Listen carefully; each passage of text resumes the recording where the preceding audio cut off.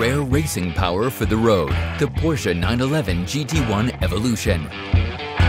Gran Turismo racing experienced a surge in popularity in the mid-1990s with the newly founded BPR Global GT Series.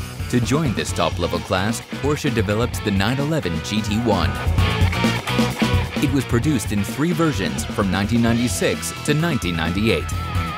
This also led to the development of a few road-legal versions, such as the 911 GT1 Evolution made in 1997.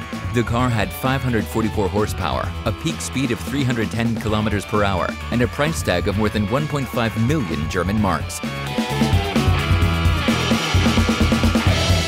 Only 21 of them were ever made, this was due to a homologation rule from the International Automobile Federation, FIA, which required the super sports car to have a road legal version in order to race. The GT1 Evo's bi-turbo 3.2-liter flat-six engine developed a peak torque of 600 newton meters. Mounted in front of the rear axle, it was Porsche's first 911 with a mid-engine design. The GT1 also caused a sensation on the racetrack. The 1998 version finished first and second in the GT1 class at the 24 Hours of Le Mans for a brilliant conclusion to the GT1 project.